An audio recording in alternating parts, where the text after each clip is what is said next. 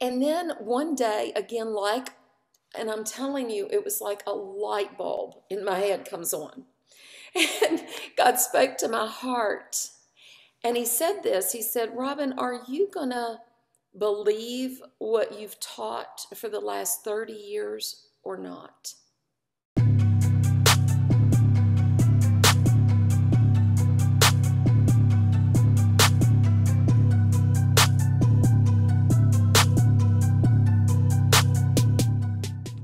Welcome to the Weird Christian Podcast. I am your host, Samuel Delgado, and this is episode 14. I interview Robin Bertram.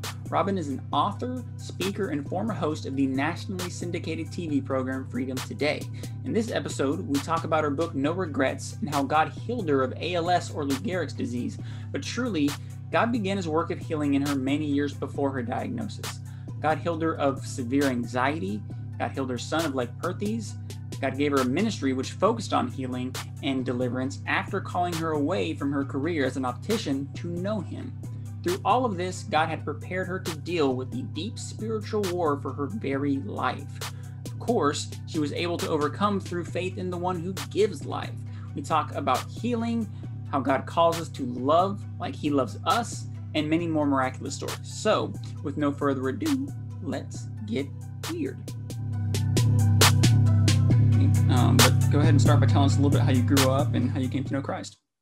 Well, um, Samuel, I grew up in a Christian home. My mm-hmm. father was a pastor for 50 years. Wow. Um, so I grew up on the uh, pew bench in the church. mm-hmm. But like everyone, we each have to find Jesus yeah. and salvation on our own. Yeah. So I was about 13 years old. We had been um, at a hymn sing in Watermelon Park, Virginia. I was 13 years old, and I remember that night vividly. Um, the overwhelming realization that God was my father. And so, as a 13 year old child, I gave my life to the Lord at that point. Um, I started to really um, learn on my own. Um, in my early 20s, I when I was in college, I kind of um, took my own path mm. and walked away. wasn't really as involved in church. Sometimes I would go, sometimes I wouldn't. And when I first started to uh, realize that I needed God, I started having panic attacks as a young woman. Hmm. And those panic attacks were pretty severe to the point where I didn't want to leave my home. Oh, wow. Um, if I would take something like an aspirin, I thought, oh, it was going to kill me. I mean, so mm-hmm. I was really struggling with panic attacks. And then I remember, Samuel, one day I sat in my um, in my front yard of my home in Virginia, and I, I took my my Bible outside with me to read that day, and I just grabbed onto that Bible and I held it so close to my heart, and I said, God, I know you have all the answers. Wow. And so I started reading that day, and I ran across the scripture that says, Perfect love casts out all fear. Yeah. And I remember thinking at that very moment, I had grown up believing that uh, fear was just part of my personality. It's just right. who I was, you know. Yeah. It was yeah. it was part of me, and so I really didn't realize I had a problem until the panic attack started. And when the panic attack started, I had gone to visit my general practitioner, and he said, "Well, we can we can try some medication and see what happens." I did it for like three days, and I said, "This is not the answer." And so when I held that Bible, I knew God had the answer waiting for me. I read that scripture and I'm t- it was like a light bulb came on. It was like almost immediately. And I do mean immediately, the fear left me. Wow. It was like it could not stay where truth now resides. Wow. And so I was radically healed of severe panic attacks from one scripture.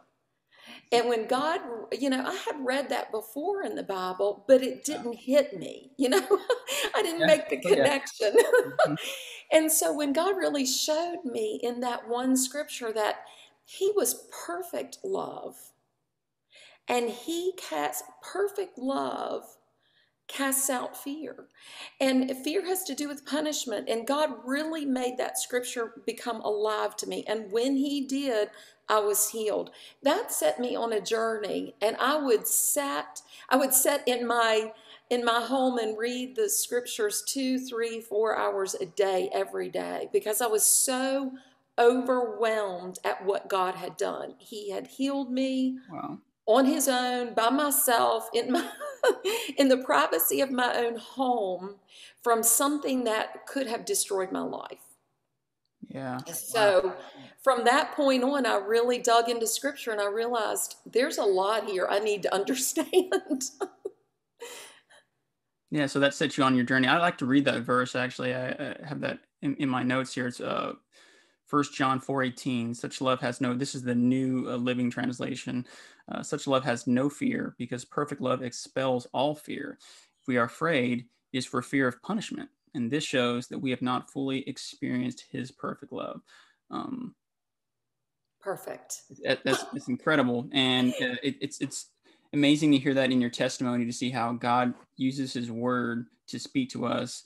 And I've experienced that as well. And I'm sure many of our listeners, where you, you read a verse and you've read it countless times, but for whatever reason, um, it it hits different um, in, in a certain context, and, and certainly um, in in your desperation. And I, I know I, am using that word because I know um, you were probably at, at the end of your rope, and you probably uh, exhausted and, and, and, tired and um, worn out from this. Um, and and God used his word. That's that that was the mechanism he used to to bring about that change and to to show you truth. It was truth that that, that sets you free. So that that's such an incredible uh, testimony.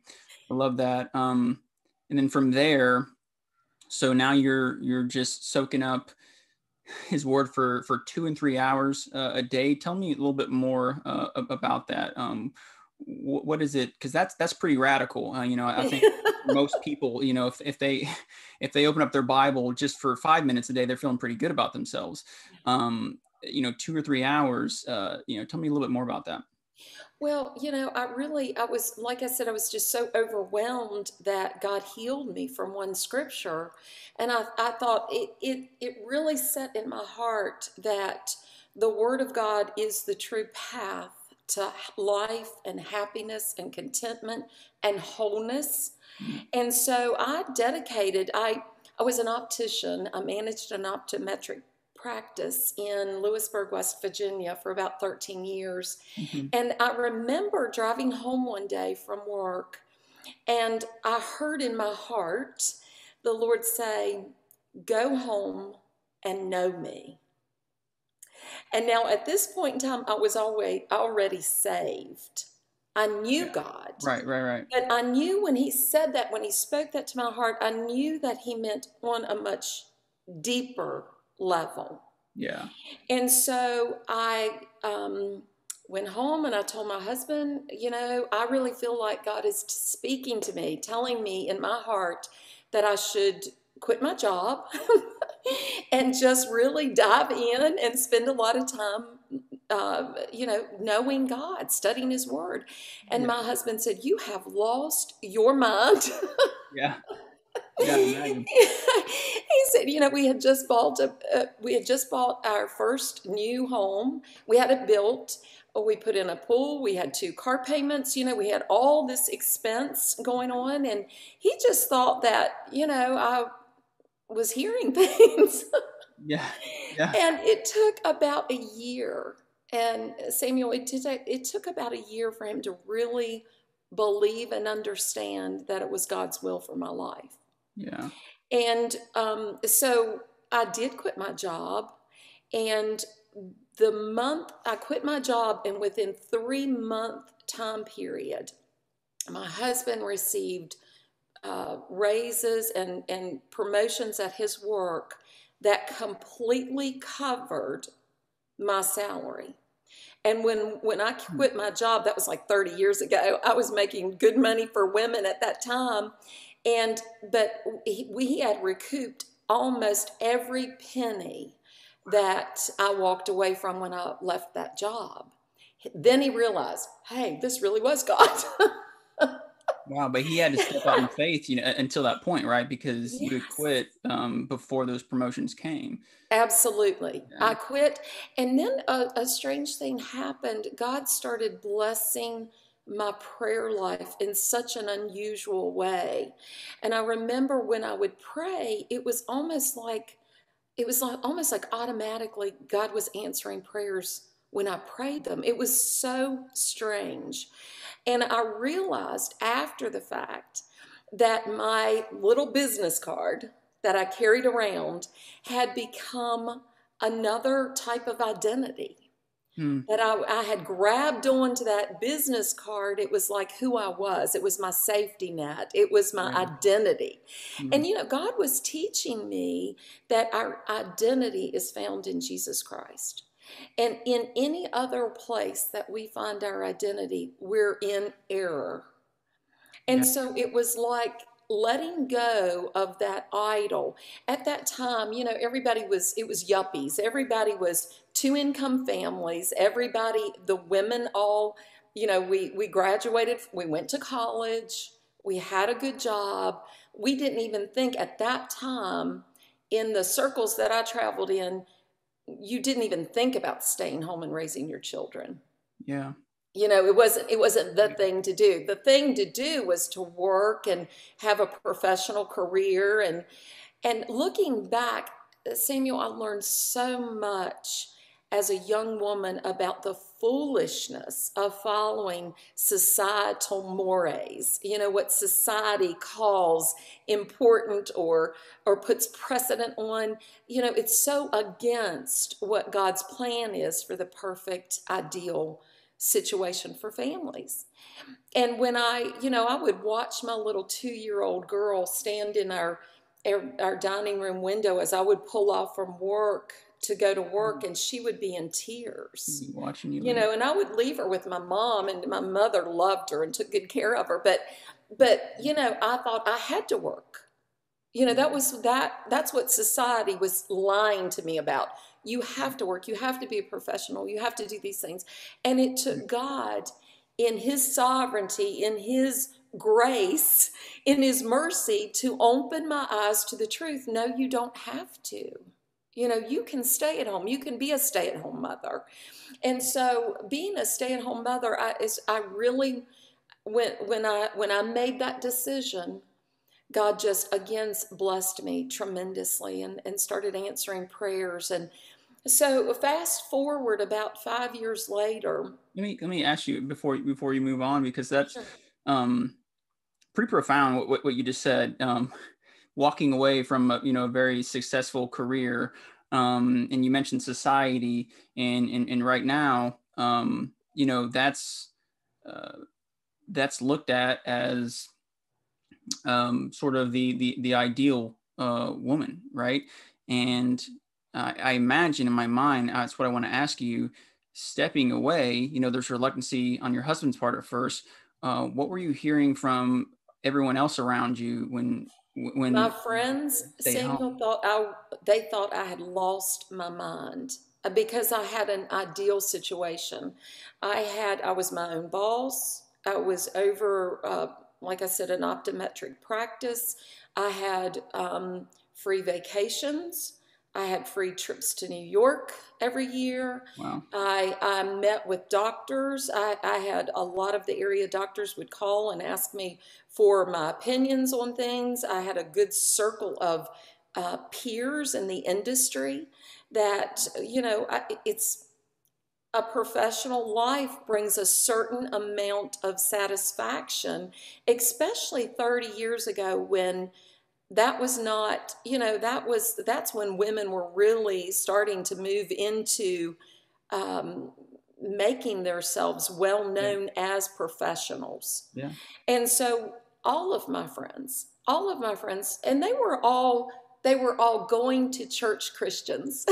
you know, yeah. they, they all went to church, um, but they they really didn't understand what I was dealing with as a young woman, you know, and I knew it was God. I knew that I knew that I knew this was not Robin's idea because as Samuel, when I walked away and I remember uh, throwing my business cards away, yeah. I mourned for like, you know, probably at least two months. Yeah. I, I, just mourned the whole because it was it was my identity. It was my safety net. Yeah, such a big part of you. Wow. But I knew that it was God. And so even though I had to go through that period of mourning, and I mean crying every day, like, what am I doing? Why am I doing this? You know? Yeah, yeah. Knowing, but knowing in my heart that it was God. Yeah, that now that's such a be- beautiful story. And this is post um, him healing you of your anxiety. Yes. so I think that that ties into you stepping out in faith. I think it, it shows that you made God more of a priority than what had been uh, such a high priority for you in work success whatever whatever you know you want to call that and um that that's pretty incredible and, and it's, it's amazing to see that that god blessed that um all right so five years later, you said? Uh...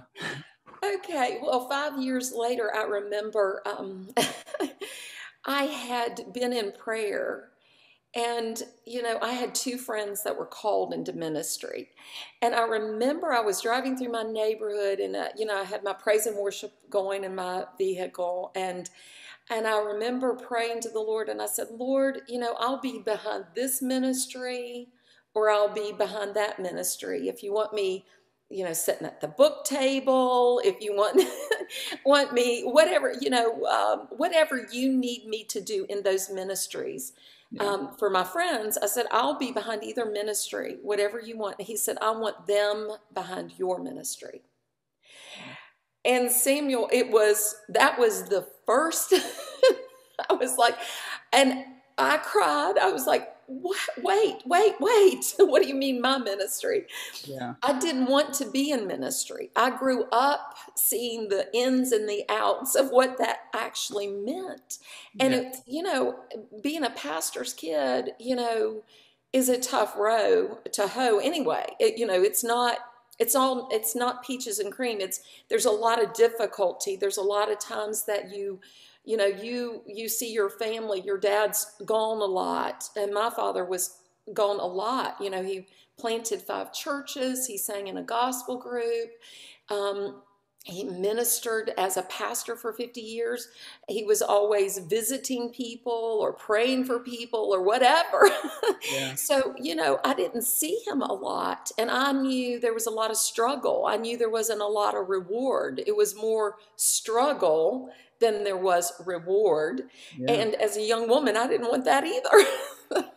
yeah, yeah. But I remember, Samuel, again, clearly hearing the direction of God in my heart because that was not something Robin came up with. Yeah. That was something I, that Robin did not want. Again, you, usually what I have found, if you really want to know if it's God or not, if you want it, it's probably you and not him. Yeah, yeah. if you don't want it, it's probably him. That's an easy marker for me because I really didn't want to be in ministry. And I cried for two days. I mean, I, I shook. I was, I came home that day and I, I mean, I was like, I told my husband, I said, You're not going to believe this. You're not going to believe this. You're not going to believe mm. Wow and and so from that point on god started opening doors for ministry. And I, I, decided from the very beginning i said god if this is really you you're going to have to make it happen. I'm not doing anything. I'm going to know that it's you or i'm not doing it.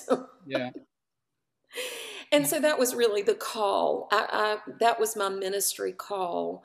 Um, and god showed me it was teaching teaching uh, isaiah 61 um, uh, where the Lord, the Spirit of the Lord is upon me.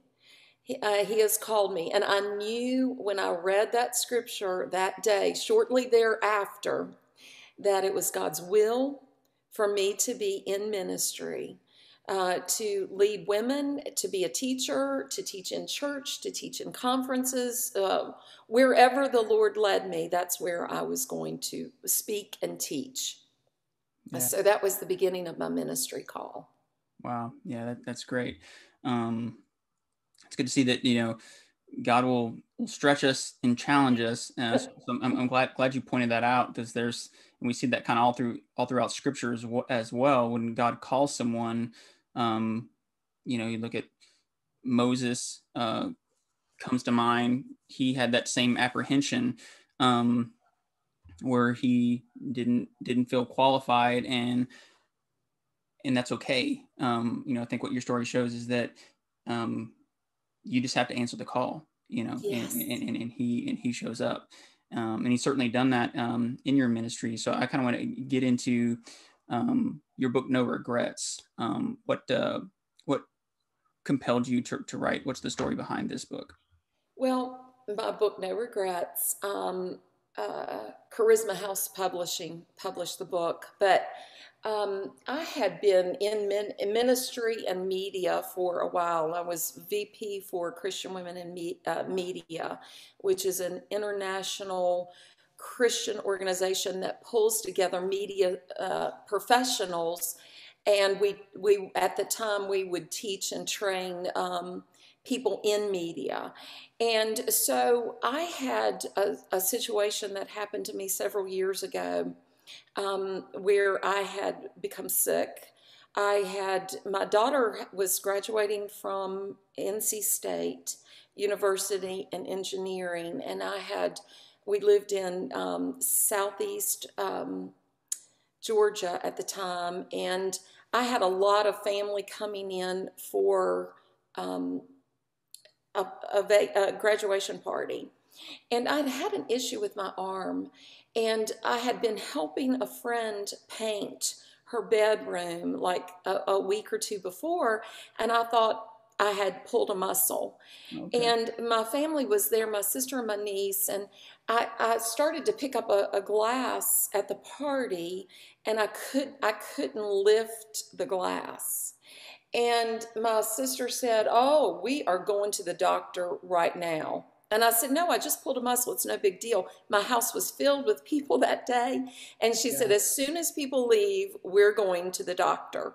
And so my niece said, Yeah, I, I, Robin, I really feel like we should just run by and check it out because that's yeah. weird that you can't do that.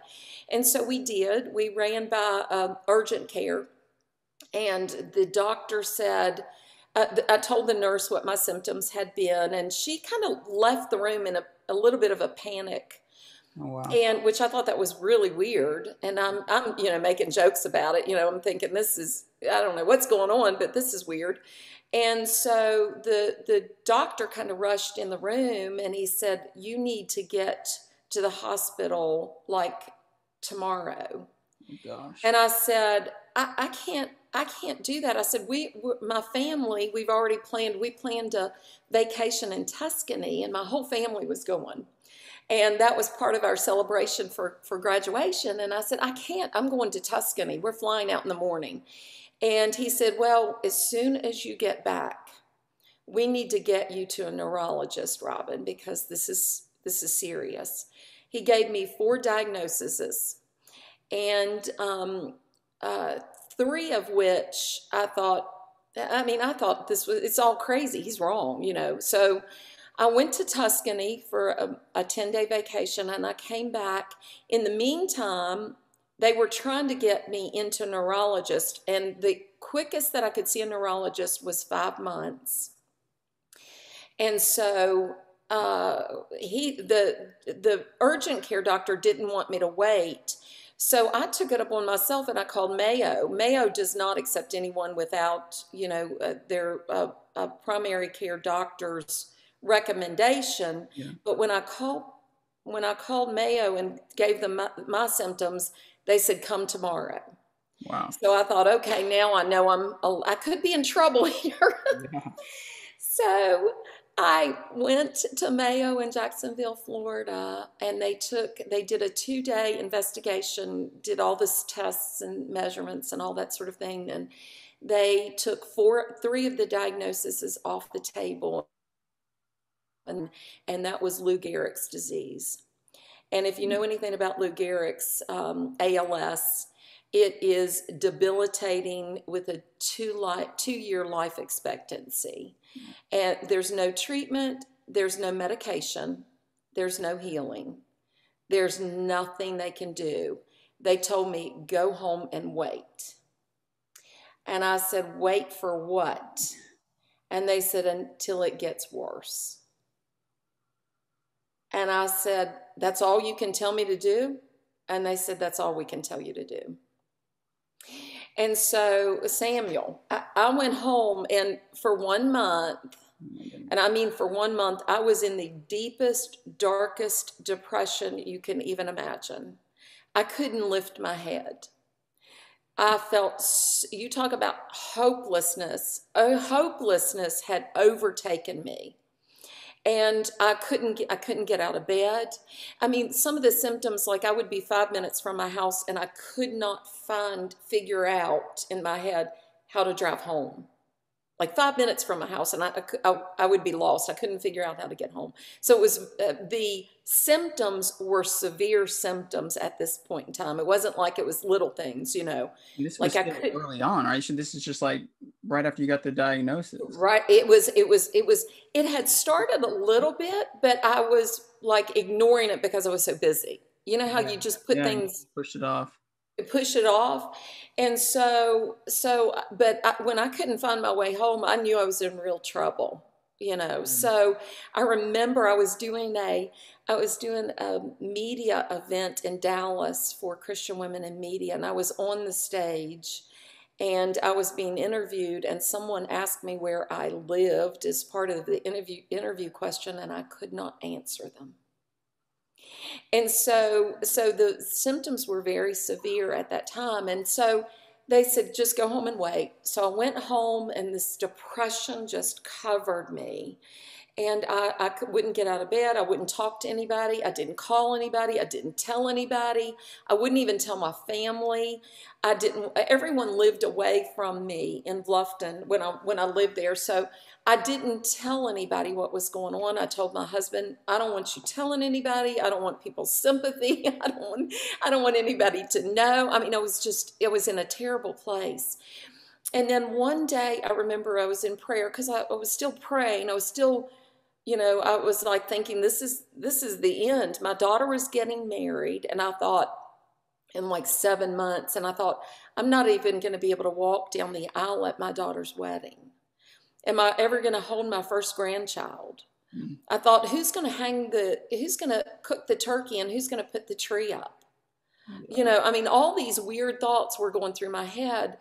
And then one day, again, like and I'm telling you, it was like a light bulb in my head comes on. And God spoke to my heart. And He said this He said, Robin, are you going to believe what you've taught for the last 30 years or not? And I was like, Yes, Lord. Yes, I'm going to believe. Yes, Lord. and it was like the the heaviness when I said yes, Lord. It was like that heaviness, that darkness, that deep, deep, dark depression left me. Mm. And I was like, okay. It was almost like God said, okay, get a game plan. Get up, Robin, get out of bed, and get a game plan. Yeah. And so I got up out of bed and I got my Bible I pulled out my computer and I, I all the studies that I had done on healing, all the studies that I had done on deliverance, I started just listing scripture after scripture after scripture. And so I printed that out and I, I put it in a folder. Then I got a tape recorder because I didn't know if I was going to be able to talk in, you know, a couple of months, six months or a year. I didn't know, you know, if I'd be able to speak. So I, I, I wrote a prayer and I read that prayer on the microphone, on the little recorder, yeah. so that I could hear myself praying that every day. And I started, uh, quoting that scripture day after day, that those, you know, hundreds of, of healing scripture, day after day after day.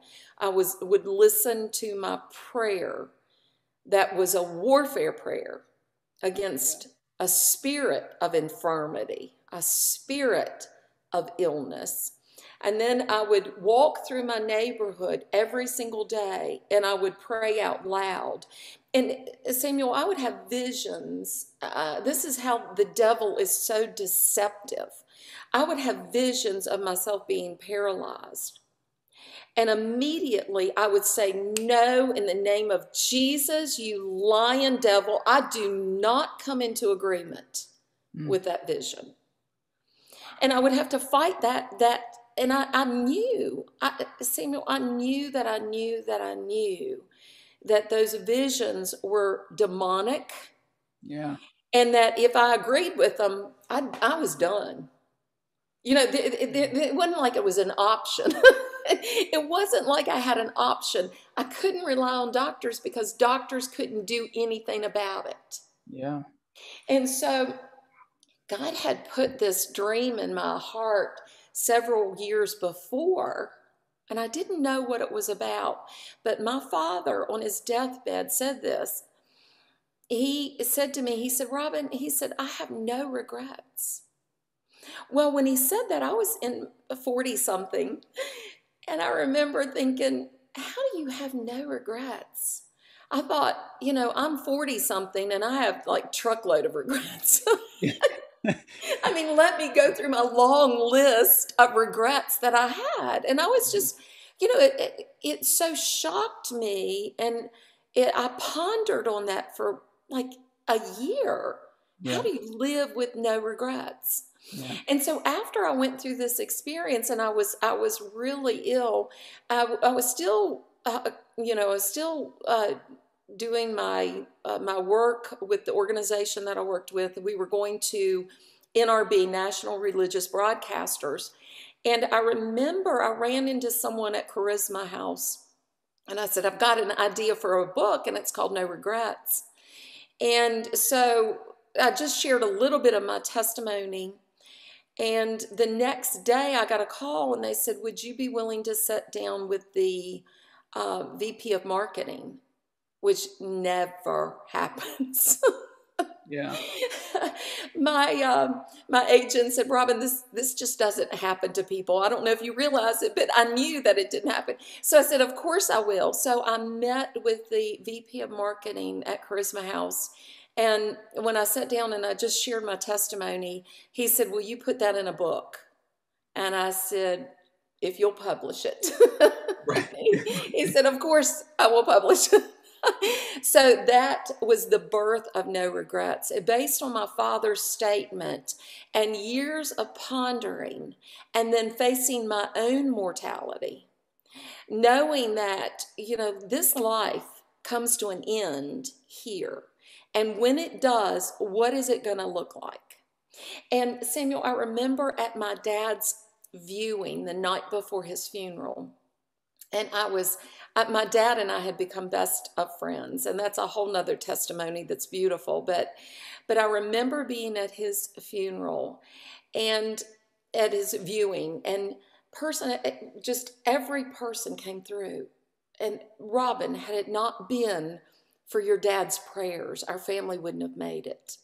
Or Robin, eh, had your dad not showed up when he did, you know, we wouldn't have had electricity. Or, or just a long list of testimony after testimony after testimony of how my dad had impacted lives.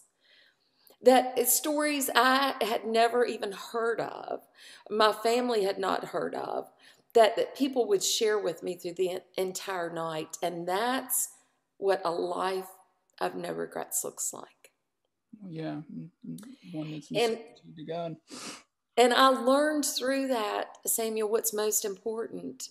I learned through that process of looking at my own my, my own mortality and you know the shortness of life when the word of God says it is but a breath it truly is but a breath. And when it's all said and done, what matters? It's not the house that you live in, it's not the car that you drive, you know, the, it's not the clothes and the jewel, jewelry that you wear. It's what did your life speak into the lives of other people that really matter. It's it's it's what you do for your God that really matters. Were you the type of person that said, God, okay, send me. Whatever you need me to do, God, just send me. Were you the type of person that was willing to do the things that you didn't think you were qualified for? You didn't think you were trained for. That's the beauty, Samuel, of God. And I, I love what he does. He takes the incompetent and makes us competent. he takes the untrained and lets us train others. You know, I mean, he does just such an, an amazing job of using the unqualified so that when it's all said and done, when it's truly God, He gets all the praise, He gets all the glory, and we're not so foolish to think it's anything about us at all. Yeah. And that's truly what No Regrets is about. And when I wrote the book, I, I start out the first chapter sharing um, with people about my about my questions, you know, that I had when I was when I was facing death. And through it, I've got what's called um, pillar of abundant living. In each chapter, you'll find throughout those chapters scriptures that I held on to when I was facing this horrific disease. Um, and you know things that I, I reached out tozer is one of my i just love tozer and so you'll find quotes throughout the scripture i talk about uh, in the book i talk about um, god encounters because, you know, I talked earlier, I mentioned earlier, there's a lot of people that go to church and they're good people and they do good things, but they don't listen for the voice of God. They don't believe He still speaks today.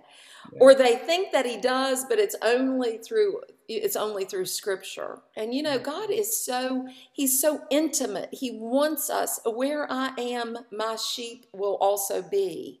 And, and He says He, he wants us to hear Him, and He wants us to know that He hears us. Yeah. And that's what intimacy is all about.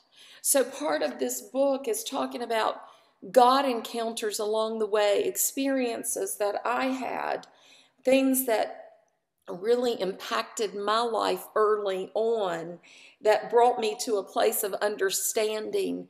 And this is one thing that I want to share with your audience, Samuel. You know, when I started out as a young woman, I could have gone the I, my degree is in psychology. So, you know, I'm a believer in psychology. Yeah. I could have gone that route. Yeah, sure. But thank God I knew through growing up in a in a Christian home, I knew that God had the answers. Yeah. Absolutely. So, but if I had not listened and read that scripture and opened my heart to receive that day, I could have never gone on and, and done what I've done. Yeah. You know, I mean, God opened a, a national uh, syndicated, nationally syndicated television show for me. I was, I was a co a host for seven and a half years. I've written numerous books. I've spoke in conferences across the country. I could have done none of that. Absolutely zero. Yeah. Had I not been willing to let the Lord train me and teach me and heal me. Yeah, you know, um, I'm going to get to, to, the book and I have questions on, on it and, and, your story as well. Um, but uh, yeah, just hearing your story, what really stands out to me is that, you know, and those seeds were planted, I know at a young age um, from, from your father and being around church.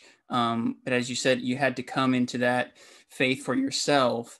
And, uh, you know, when the time came, you knew, um, you knew that God was real and you knew to answer the call. And what's amazing to hear about your story um, with, with ALS and that depression that you described as, as a covering over you, um, which then you alluded to that being uh, very much a, a, really spiritual warfare that, that was happening right there.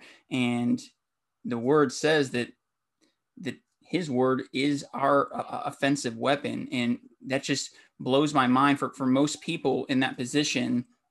They want to say, okay, well, well, well what can I do? And they're going to run to every every little thing they can to try to fix this this problem. But you, you know, it's amazing when you said that God spoke to you and, and you literally got up and you made a plan. You know, in my mind, immediately plan goes, okay, well, who can I talk to? What can I do?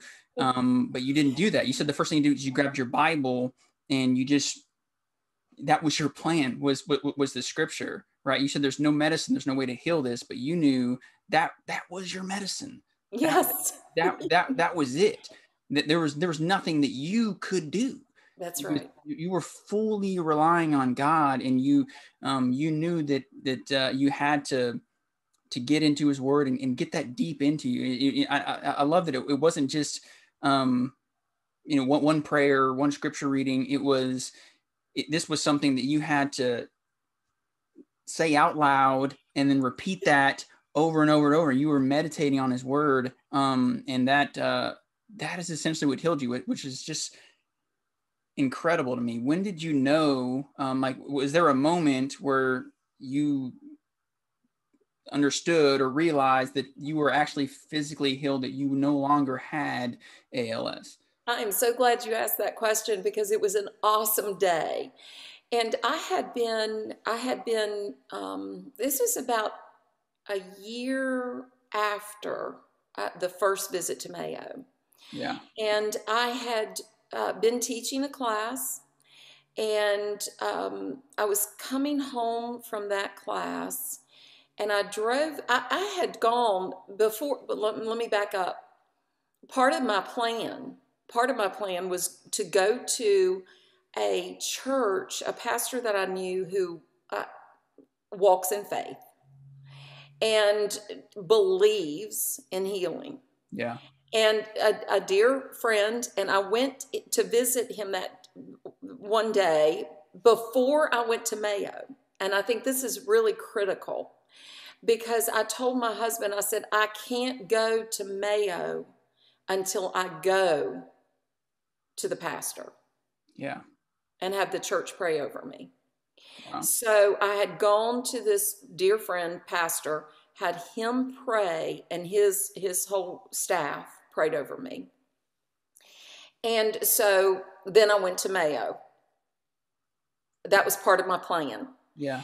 And so when I after uh, the second time, that was the second time to Mayo. But anyway, so I had the pastor pray over me. I'm coming, I'm driving home. This is a year later. This is an um, appointment that they that they had set up the year prior or no this appointment. This this was a year later, the second appointment to Mayo. This was yeah. my second appointment. Was this, was this planned in advance that you were going to come back a year afterwards? Yes. Okay. Yes. Yes. So I had gone back to Mayo, and they um, well, before I went back to Mayo, though, I was driving home from this class. I, as I drove by, um, I had a contact lens had torn in my eye. And I don't know if you know what that feels like, but it feels like glass in your eye. It's oh, wow. very uncomfortable. Yeah. And so I was driving with one eye could see and the other eye was just almost swollen and red and it yeah. still had the contact in it. And I heard in my heart, go in, go turn around and thank the pastor that prayed for me. Yeah. And so in my mind, I'm driving and I'm going, uh, I think I'm going to go home and get my lens out and I can go back later because I can't see to drive and my eyes all swollen and, you know, bloodshot and all that. And, but as I drove by that turn, I'm telling you again, it was like miraculous. I find myself turning in my head is thinking, I'm going home. My heart is following what my spirit said. Yeah. If I don't know if you've ever been in that situation before, but that's what happened. Yeah. and yeah. so I turned in and I went in and I I told the pastor, I said, I, you know, you prayed for me a year ago. And I reminded him of that prayer. And in that morning, that very morning that I turned in, he had had someone who a year before, the same week I went in for prayer for ALS, he had a congregational member who had died from ALS. Mm. And so that morning, he had received a letter from her husband telling him, telling him of all the beautiful things that had happened that God had taught the husband of the dying woman oh what had happened to him through that whole process. So when I walked in that morning and I said, I just want to thank you for praying for me. And he was like teary eyed. He's like, I can't believe, you know, that I walked in for first of all, you know, that I could walk because yeah. I hadn't seen him. And so he was he was so thankful that I was okay at that point. And so I'm driving away. He hugs me and he says, You're going to be my Sunday morning service this Sunday morning. And I'm so excited. And, you know, he was so thankful and he prayed for me again. And as I was pulling out of the church parking lot, the scripture came to mind and this just hit me 10 were healed, but only one turned back. Mm, yeah. No, and I was like, God, you set this up for me. and it just, the overwhelming understanding came I'm now healed. Yeah. I'm, I'm now healed. Yeah. And what was really weird, there was a, a builder, this is so crazy, Samuel, in my neighborhood that I had to drive by every single day for that year that their initials for the building was ALS. Every day I drove by it. Oh, yeah. Do you know that very week that sun came down? Wow. And when I drove in, wow. I drove in my neighborhood and I'm going, I am healed. I am healed. I'm healed. Thank you, Jesus. So then I go back to Mayo yeah. and I could see the look on the neurologist's face when I, you know, when I came in. And he had a look of terror. I'm telling you the truth.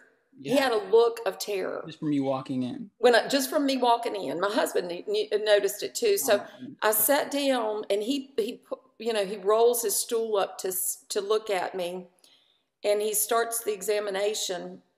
And after the examination, he sits down on the stool and he looks in my eyes and he pushes back and he said, I don't understand this. He said, You've had no other, there's been no change at all. And I said, I understand it. Yeah. he said, Robin, I can't explain this to you. I cannot explain this to you. I said, You don't have to. I said, prayer. I understand. I said, it was prayer. It was God. And he, he kind of nodded. He didn't, you know, he didn't wholeheartedly agree. He kind of nodded at me. Yeah. yeah.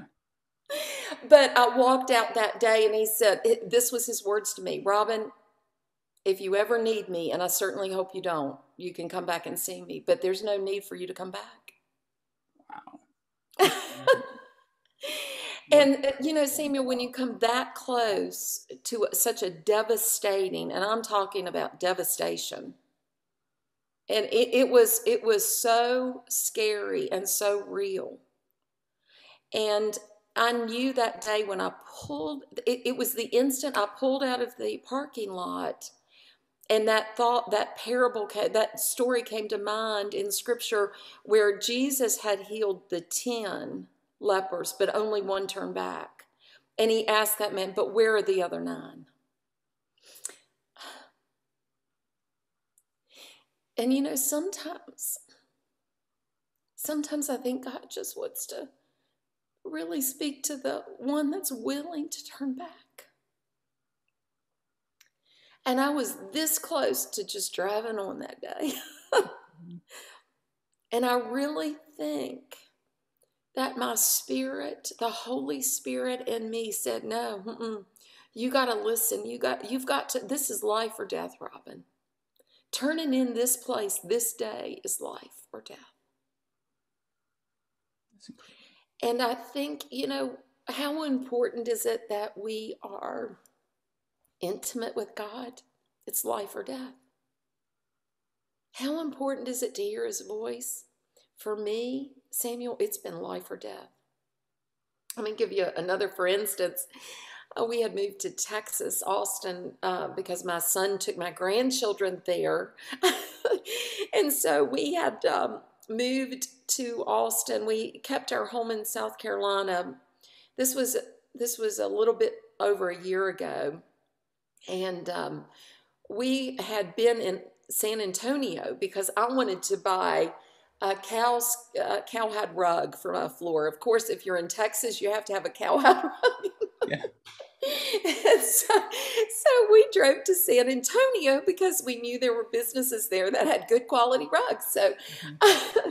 on the way home, on the way home, I had it was about an hour and a half from my home in Texas. And so I had I had been really tired from the day before we had done, we were really busy. So I laid my, reclined my chair in the car all the way back and I fell asleep and I was asleep for a while.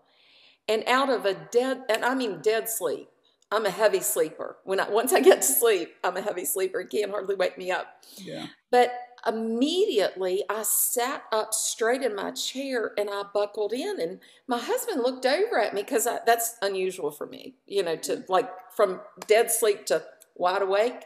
Yeah. And he said, "What is going on?" And he and I said to him, I said, oh, "I feel like the Holy Spirit's telling me to buckle in because I didn't have my buckle on. I was just reclined back, which I know that you're not supposed to do that, but that's what I did that day. Yeah. I sat up and I put my seat on, my buckle on, I said, I felt like the Lord is telling me, buckle in right now.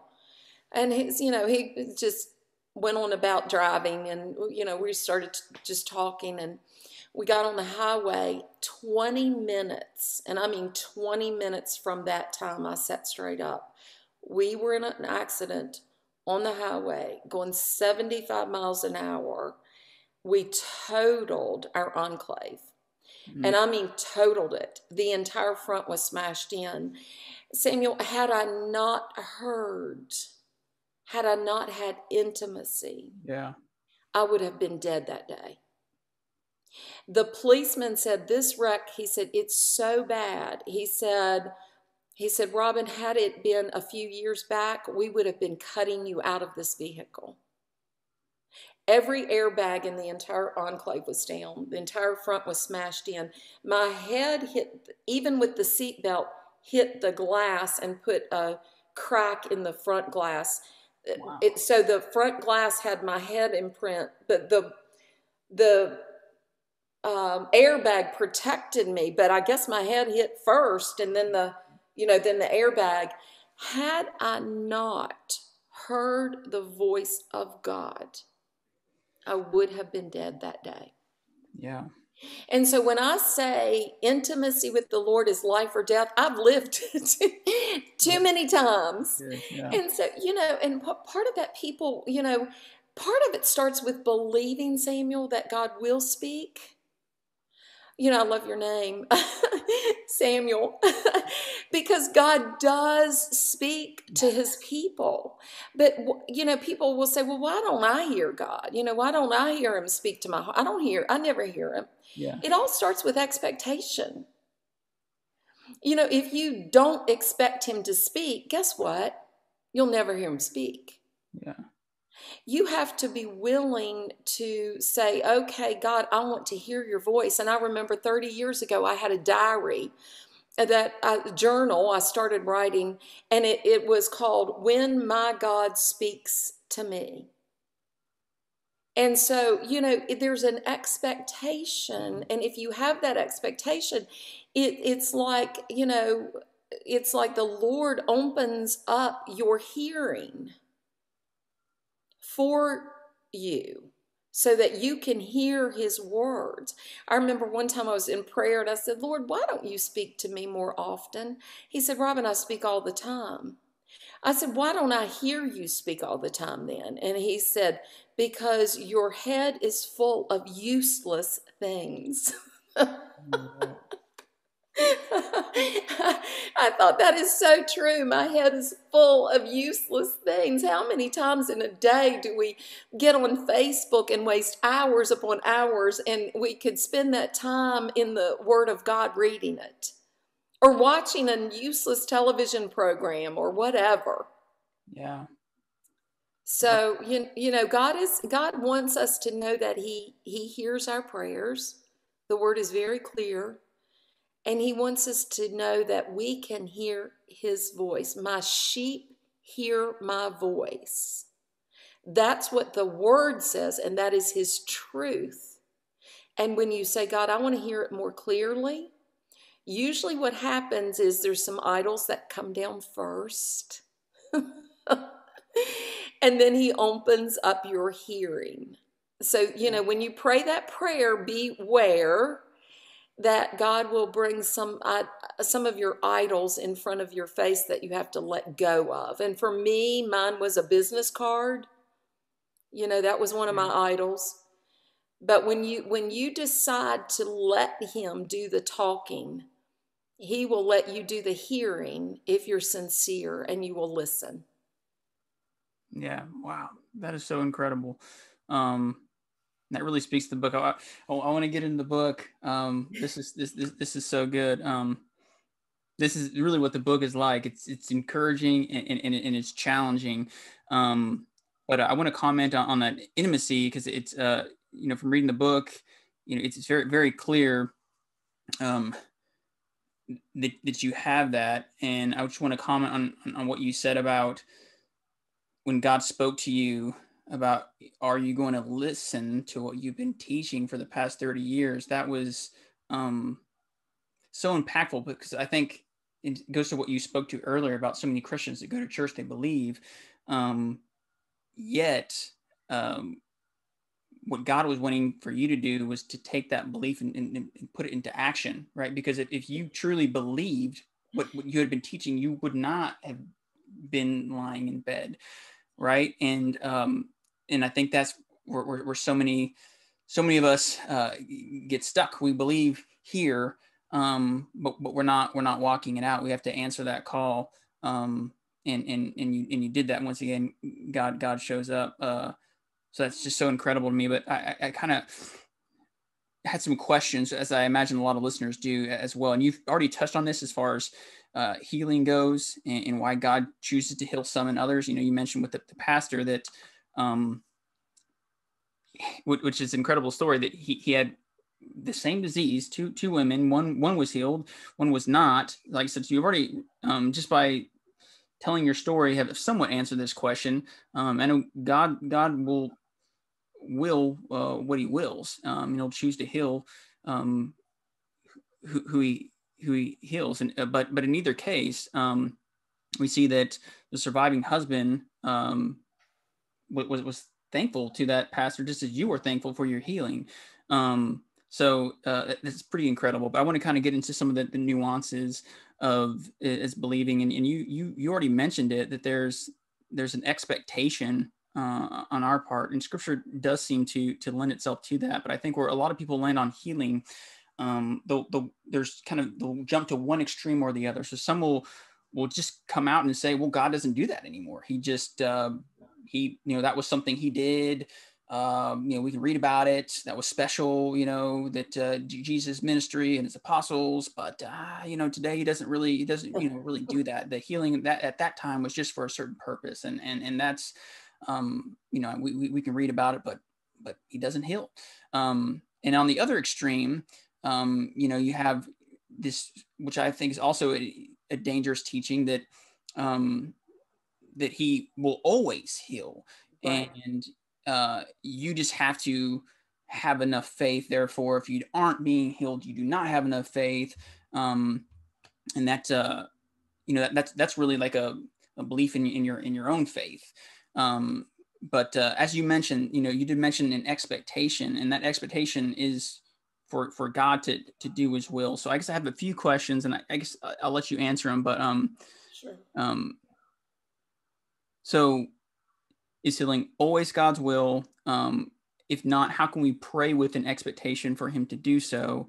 Um, and then if you if you had not um, and you sort of lended this earlier, but um, if you had accepted death, would that have been detrimental to your healing? As you mentioned earlier, you had you had visions that uh, you believe were demonic in nature of your um, paralysis, and and mm-hmm. so I think you already answered that. But go ahead um, and, and, and, speak to this um, dichotomy of uh, God's will and healing. Well, I think it's really critical, absolutely critical, that we know that God is sovereign. He doesn't always choose to heal, to answer our prayers in the way we expect Him to. You know, 20 uh, some years ago, I prayed for a little boy who had cancer. And I'm telling you, we had a whole community that stood in faith, believing that that child was going to be healed even to the point of on his deathbed, myself and my prayer ministers were with the family. And we were praying for that child, even at the last breath that he took, that he was going to be healed. And God doesn't always choose to answer our prayers because he knows better than we know what needs to happen. So we have to start with the premise that God knows best regardless. I had a friend that I, I used to pray for uh, before he passed away. That was his prayer minister. He said, If I'm healed here, I'm healed. If I'm healed there, I'm healed. Either way, I'm healed. Yeah. And I thought, what a powerful, powerful message. Because what that says up front is God, you're sovereign. I'll accept your will either way. Yeah but here's what here's what I have chosen to do over my years of ministry. I always ask someone that I'm praying for healing, what do you want me to pray? If you want me to pray for healing, I'm going to keep asking God until you take your last breath. Yeah. And and so what we what we have to realize from the very beginning is we don't know God's will. Only God knows.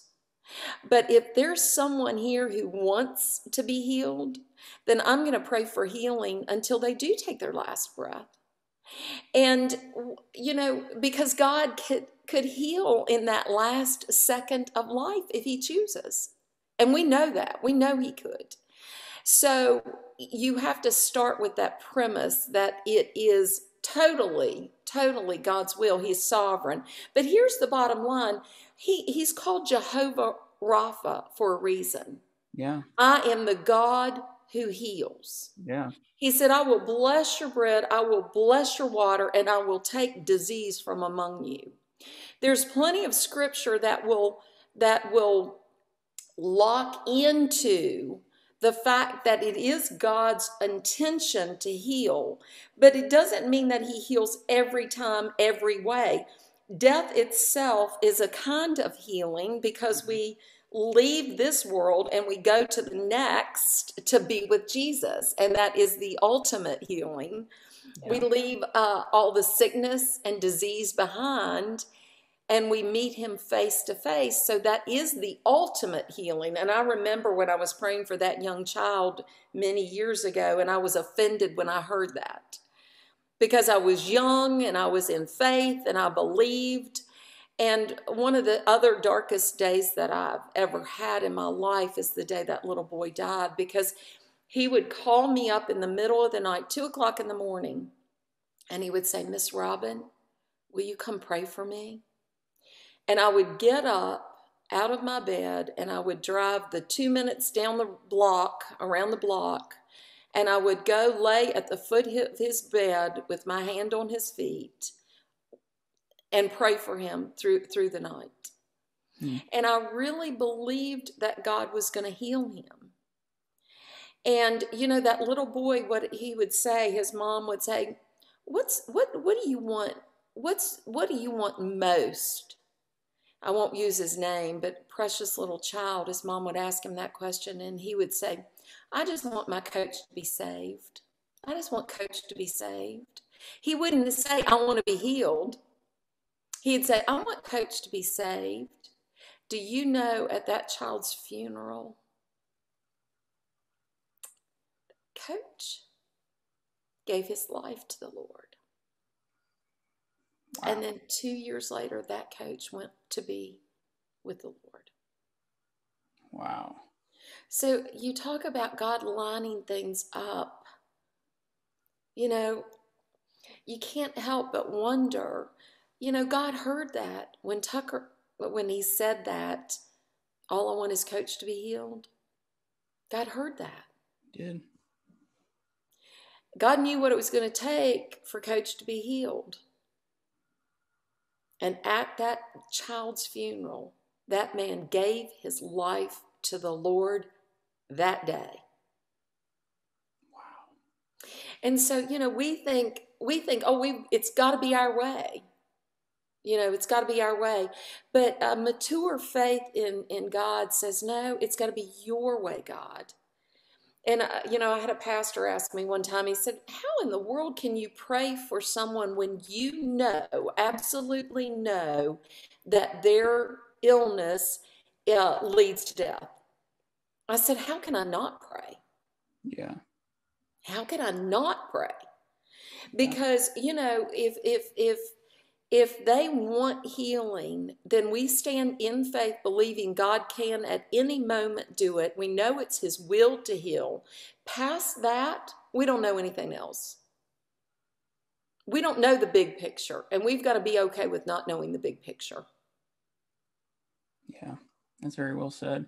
Um, just a couple other things I, I, for, I forgot to comment on. Um, also, taking back um, what you were saying, but uh, you know, your story is unique in, in, in that you you kind of came into uh, an understanding that you were healed, um, but that wasn't like some of the healings we we see in the scripture. Um, you know, where Jesus says, you know, pick up your mat and walk. It, it, it wasn't necessarily something um, nonetheless miraculous, but wasn't instantaneous in, in, in a sense that uh, it was alleviated all at once in that very moment. Um, so I, I really love, I love that uh, about your healing specifically is that um, God was teaching you something as as you're doing this healing, and this is um, after years and years of, of, of, ministry and he's still still still teaching you um, what you've been teaching uh, and, and you had to really walk through that uh, which is incredible. And you you have a quote that you said in your book that you really uh, illustrated so well in your story. Uh, and i think for for so many people when they're in this situation as i mentioned earlier they want to grab the bull by the horns and try everything they can to do to receive this healing. And then when they're kind of at their when they're at their end of the rope and they've got nothing else to do that's when they want to hit their knees in, in, prayer. But you you flip that on its head um, and, and, you say this in your book I'm looking for, for the quote but it's uh, you know prayer should not be your your last resort. Yes yes. Um but it's uh your first defense. it's your first defense. Yeah um uh so so so talk a little bit about that and then i, I want to kind of get into um some of the stories that you had in your books. That's one thing I really loved about your about your book is that it's it's filled with just all these personal stories. Um, so I just want to get into a couple of those. Um, but but talk about how how prayer is your not your last resort, but your first defense. Well, you know, um, the Psalm thirty verse 2 just oh lord my god i cried out to you and you healed me and this is this is you know this was david this was the heart of god because when i first started uh, in ministry before i even started in in ministry prayer was so vital in my life uh, as a young woman my son had an issue um, uh, was was legs Perthes. He had been on prednisone for breathing because he was allergic to everything, and um, he had a, an issue with his trach. Trachea, uh, his trach would collapse inward, so he he could get air in, but he couldn't get it out, hmm. and so he had to be on prednisone quite a bit. And and one day I got a call from my mother, and she was watching my son, and she said he was like maybe three and a half years old. And she said, He can't walk today. And I said, What? And she said, Well, your Logan is saying he, he can't walk. And I thought that I was at work. And so I kind of panicked and I said, Well, I don't know what in the world that even means, but I'm going to come home early. And so I came home that day from work and he just wouldn't walk and he was so young and i thought that doesn't make sense for a little three-year-old child is usually a point running all over the, jumping and you know mm-hmm. on everything and so i made an appointment with our pediatrician and i took him in and and um, he he said robin i'm really concerned about this and he he said I, it's there's there's an issue there i'm not sure what it is but we need to get him to UVA. We were living in Virginia at the time. And so um, uh, cystic fibrosis was an issue also with lungs. And so he, he called me at work that following day and he said, I'm going to set it up. He said, but I think we need to check him for cystic fibrosis. And of course, that's where children die at age 11. You know, mm-hmm. that that's typical. And so I, I really, I was like, wait, wait. I mean, my son is, my son is fine. And he said, no, there's more to this story, and we, we really need to get to the bottom of what's going on here.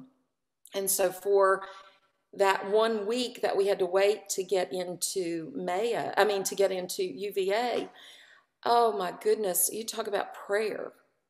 I spent every split second for a week. I could not sleep. I could not eat. I could not think. And I just went into this full prayer mode, just crying out to God, crying, crying, crying.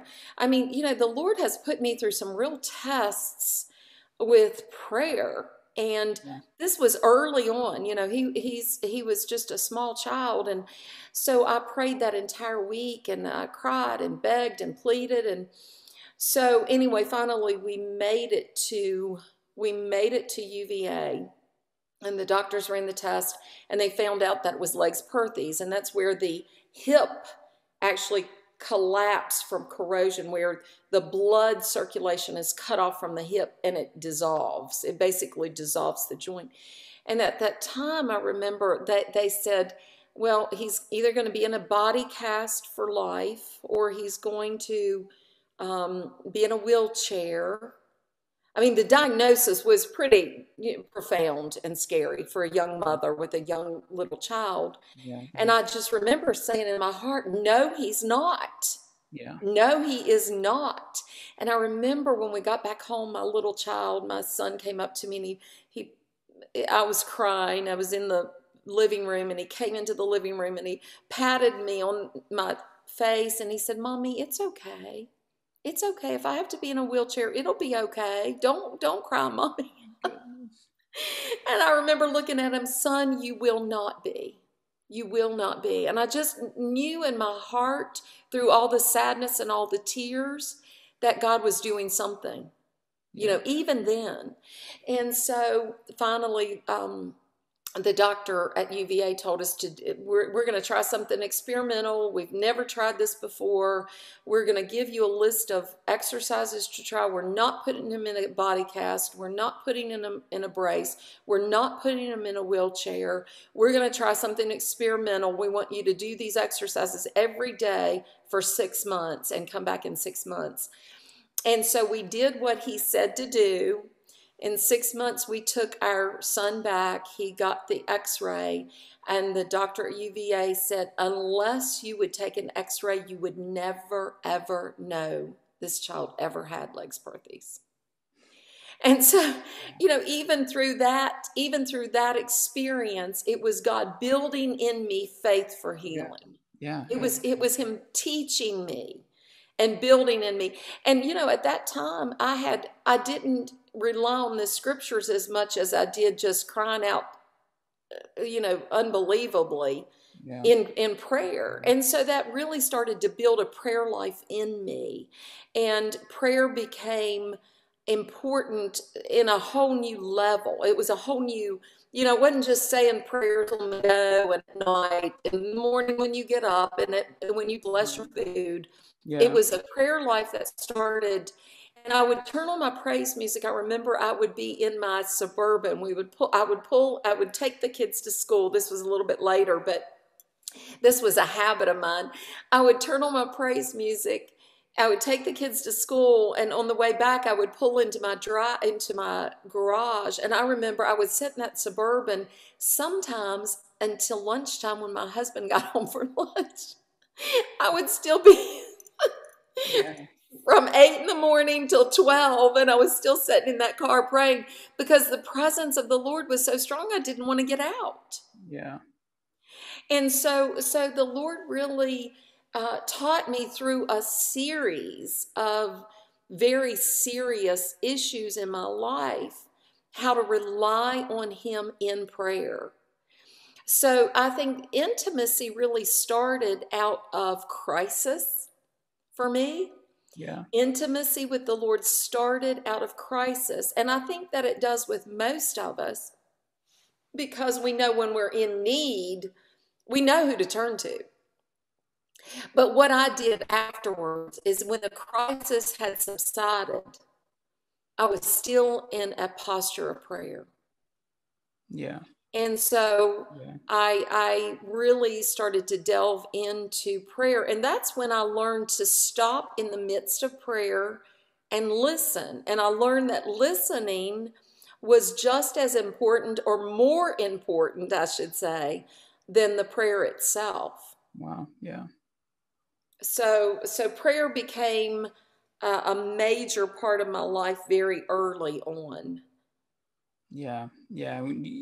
You, kind of see uh, just how God has used um, all these different events and even trials uh, in, in, your life to, to bring about His goodwill. It, it reminds me of uh, of Joseph uh, and in, in, his his walk and the tragedies and um, you know, for for so many people, it's it's easy to to give up or, or give in. But I think what you what you've illustrated is it's it's really truly about trusting in God, um, and His will over over your life, and yes. you can use all those things uh, for for good.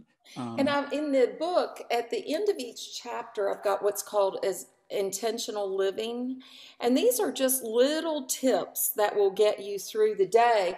And for this, I, this was on prayer. I was pray expecting answers.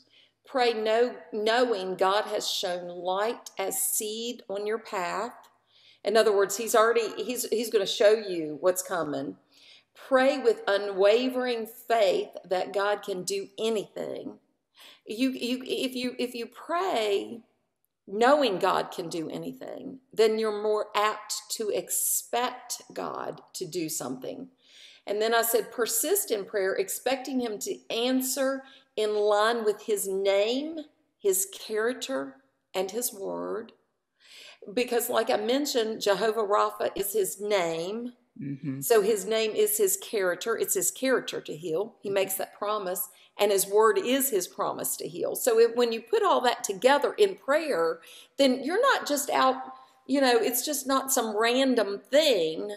Yeah. You have you have something to hold on to. Pray with purpose from a position of victory, which is critical when you're praying. In other words, if you pray in a prayer, and I hear this all the time, I I was asked to train a group of prayer ministers in Florida for an international ministry, Christian Healing Ministries. And I remember, you know, as, as I would work with prayer ministers, uh, sometimes people will not pray from a stance of victory, they pray from a stance of defeat. And that's where I really learned to thank God in advance for the healing that was coming. Thank Him for the, for the healing Thank Him in advance. Pray from a position of victory. And then pray with passion, knowing that God stores up every tear you shed. So when we're in prayer, you know, you you it's a place that you get truly uh, transparent before before the Lord. You get very transparent. And when you pray with those things in mind that God is is hearing your prayers and he's collecting your tears. If you really believe that, then you have to believe that He really cares about every thought, every problem, every issue you have. And that's major. Uh, when you when you start to do that, then you pray from a whole different vantage point. Yeah. Wow. Yeah, that's that's incredible, and it, it starts with the you know that like you said, the knowledge of God and, and who He is and His character. Um, uh, that's that, that's that's incredible. Um, I love that. Okay, so uh, let me let me get into some of the other stories that you you had uh, in your book that stood out to me. Um, I thought you I have three in particular that I just wanted you to kind of touch on, um, and people can pick up the book to hear you know the whole story. But um, you you told a story about uh, a young man named Ian um, that you were uh, praying about in, in, your prayer group with, uh, or praying you were praying with him. Um, can you tell a little bit of that story?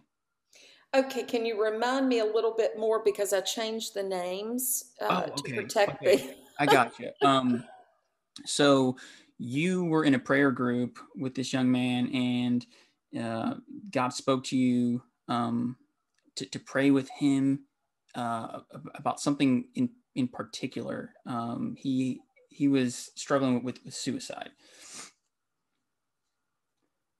Okay. Yes. Yes. Um, what page is that on? Do you have it? Do you see it in the book, or do you just take the notes?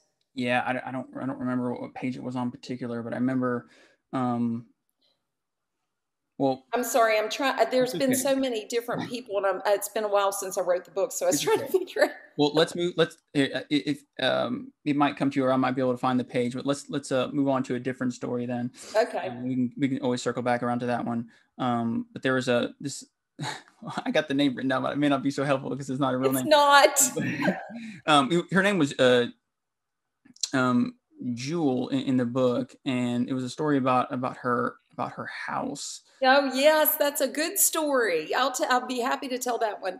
And sometimes, I mean that that's that's the hard thing about the book. I mean, I had to I changed all the names to protect yeah the privacy of yeah. the people that I dealt with. But um, Jewel, we had uh, she specifically, I, I ministered with her for several months. And she had a really bad situation that had happened. Her husband had become sick with cancer and he had lost his job because he had so he had missed so many days because going to the hospital and back and forth mm. and all that sort of thing. Wow. And through losing that job, they lost their health insurance. And they were now financially in a bind. They were losing their home. Um, she worked, but she didn't make enough money to pay for the insurance. And she didn't make enough money to pay for the house payments. And so she was in a situation where it was God or nothing, down to nothing. She was just months away from losing her home. It was uh, gonna. She was gonna have to go through bankruptcy. And so we entered into prayer, and that was one of the things that was a regular prayer for her. And we prayed about three months specifically for God to intervene because she didn't want to lose her home. Yeah. And one Monday morning, I heard this the telephone rang. I went to answer the telephone, and I heard someone on the other end crying profusely, just screaming. And I said, Calm down. I can't understand. I can't understand. And she had gone into work that Friday, and uh, one of her clients asked her what you know what she was doing about her home situation, and she said, "Well, uh, on Monday I have to go into bankruptcy." And the woman that was her client said, "Will you meet me here Monday morning?" And she said, "Well, yeah, is it important?" She said, "It's it's very important."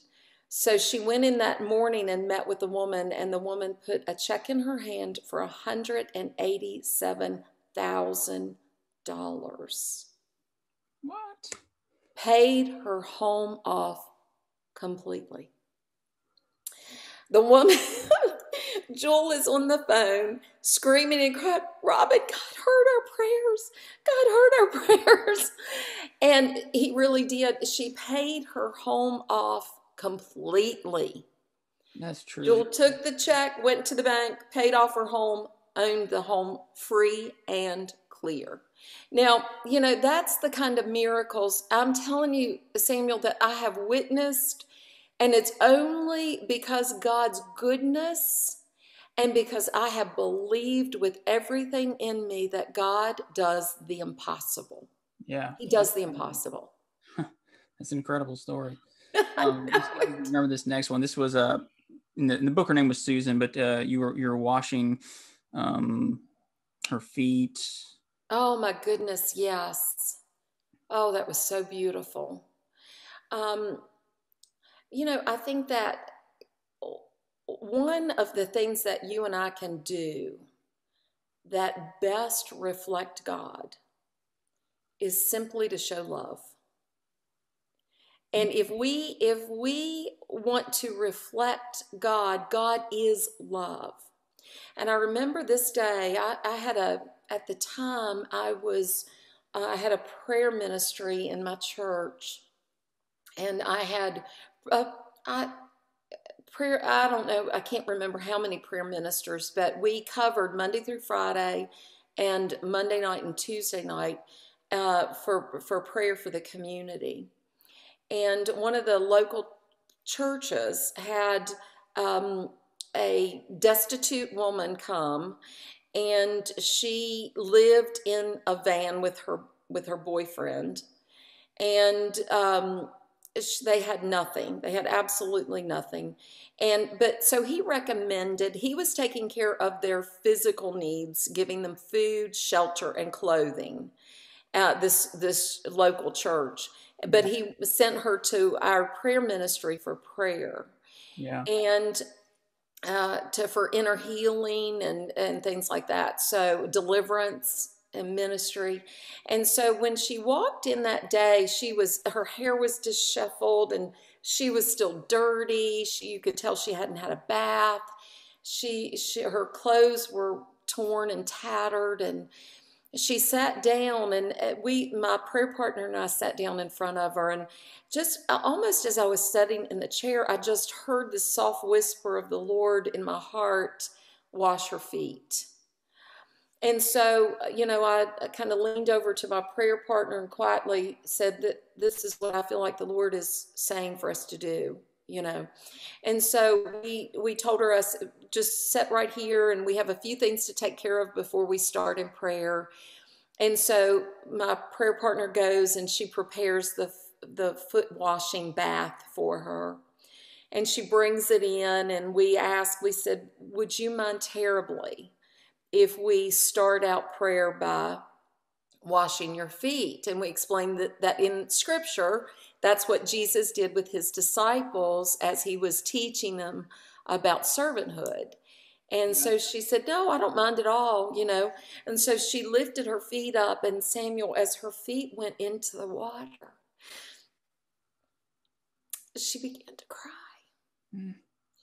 And she her head was hung down and she lifted up her head and she said, Why would you do this for me? And I remember looking at her and I said, Because God loves you and we love you. And at that very moment, Samuel, she gave her she gave her life to Jesus. We didn't even have to pray. We didn't have to do anything. She just gave her life right there and then. And it was like you, you know, she just could feel the love of Christ. And I'll never forget how the light and the love of Christ just filled her. It was like it was like the first time she had ever felt love in her whole life. Wow. And so my lesson there was, you know, God when he speaks, there's a reason and he knows so we can't even fathom in our own minds what is going to touch another heart. We can't. We can, you know, we go through our routines. Oh, we think we know, you know, we th- all Christian and been minister forever. No. When God does it, He does it in such a profound way. you know, he just kind of moved us out of the way. he just kind of moved us out of the way. And it was an intimate moment between that woman and God where he reached down and touched the deepest part of her soul and he healed her in an instant. And this drug addicted, you know, living with her boyfriend, using foul language, in an instant she would. And do you know that woman is a prayer minister today? Wow. Isn't that beautiful? It's unbelievable. Wow. It's incredible. Yeah. You're, you're, you know, for the listener, the, the book is filled with just story after story after story like this. So I, you know, and really it, it the book was, was not uh, what, what I, what I thought it was going to be. And your, your, your personal story is, is woven throughout. Um, but it, it is, it's really so much more than that. And, and it's, it's, it's funny hearing you, you talk now and, and, you know, talking about your, your life of ministry because it, it's it's all there in the book. You know it, it's it's it's not just storytelling. You you really truly are teaching and ministering all, all throughout um, as you kind of pointed out. But one of the chapters that um, impacted me the most was uh, on the one on on love and it was actually in the middle of the book. I knew there was a love challenge. I was expecting that to come like at the end of the book. Uh, you dropped it right there in the middle of the book. Um, i'd like to just read um, uh, 1 Corinthians 13, 4 through 7, speaking about those attributes, and then just have you touch on uh, a couple of those. Sure. Um, and then we'll move on to uh, some more personal questions and, and close out. Um, so this is once again uh, 1 Corinthians 13, 4 through 7. Love is, um, of course, this is, I know you, you, mentioned this is kind of what we hear at weddings all the time, and you sort of elaborate that and, and, and build on um, just the power of this verse. Um, love is patient and kind. Love is not jealous or boastful or proud or rude. It does not demand its own way. It is not uh, irritable and it keeps no record of being wronged. It does not rejoice about injustice, but rejoices whenever the truth wins out. Love never gives up, never loses faith, is always hopeful, and endures through every circumstance. Um, so there's so much there. Um, and uh, you kind of go through those attributes, you know, one by one in the book. I just want to touch on on, on a, a, couple of them. Um, so talk about if you can about, quickly about, about uh, envy. Absolutely. Well, what I what I found so astonishing when this really, uh, you know, because uh, it is always almost always heard at a wedding. Yeah. And when I, you know, I've been reading through the Bible for many years, every year trying to read through several times a year. But what, what hit me about this is Apostle Paul, you know, in Corinthians, he's on, on chapter 12 and chapter 14, he's teaching the church about walking in power. Now, so on bookends, it's like bookends on, uh, on 12 and 14 in the chapters, he's talking about how to be powerful. And right in the midst of it, he stops and he tells you mm. about, he explains what biblical love looks like. And so we, we think of that pa- passage as about marital love, but it's not. What this is, this whole passage is teaching us without love, you're a, a, a noisy gong. Yeah. No matter what you're doing, you're, you're noise in the ears of God. You, you're, you're just noisy. Um, without love, you're nothing at all. So basically, Paul is teaching the Corinthian church if you want to be like God, if you want to walk like you're supposed to walk as believers, as believers, as Christians, believers in Jesus, you start this love. How powerful is it? Because the Word of God says, love, well, this is what I, my quote love is the deepest expression of God in us because God is love. It's the deepest expression of God in us because God is love. So when you start to understand, if you took this scripture alone and you say, I want to reflect God, if you just follow these few steps right here, you're going to look a whole lot more like God than most people. and so when I, I, start breaking this down, I remember patience, you know, being patient. Uh, I'll tell a real quick um, story there, I used to have road rage. Mm. And, you know, I would be the first to be speeding, which is breaking the law, which is ungodly. because I didn't have patience. I wasn't a patient person. And I remember God really trying to work with me and teach me patience. Just, Uh, just pick up where you left off um, about how God was teaching you patience. Okay. Okay. As I said, uh, Samuel, the lesson for road rage was not a pleasant one, needless to say. I had been doing the television interview. I was on my way home. It was very late at night um, because the show was late. And so I think it was about one o'clock in the morning. I got stopped for speeding. I was on the interstate. I was by myself. It was out in the country. and the policeman was not very uh, nice. He gave me the ticket. so, so, anyway, that was not enough to teach Robin not to have road rage. I continued on as I was pulling into my hometown where I lived at the time two o'clock in the morning, flying through an empty road, pulling into town. I got another ticket. I just put my hands up in the air. Okay, God, I've got it. From that point on, I learned that God was, He meant business. Yeah. You know, sometimes we, sometimes we're so foolish to think that the small things do not matter to God. Mm. But Samuel, God was speaking very clear, clearly to me that night through that series of events that he wanted me to learn that patience was a virtue, that I needed to honor him and his word through my life. Yeah. You know, it wasn't it wasn't just about speeding, although breaking the law, you know, God takes that seriously. And so from that point on, I learned patience. Wow. I not get in such a hurry anymore. And you know, when God taught me some of the things about as I as as I was doing my own love test, and that's really what it was. I was putting myself to this test. And one of the tests that I had, you know, through this is learning to love other people when they're not necessarily loving me. And I had a situation that came up while I was writing the book. And um, someone had had called me they needed me to take care of something for them which uh, which I had given up about three days of my own personal work time. And then and then it turned out that they didn't need what I what I had done. Mm. And I did not get a thank you. I did not get a payment, but I just lost three days of work.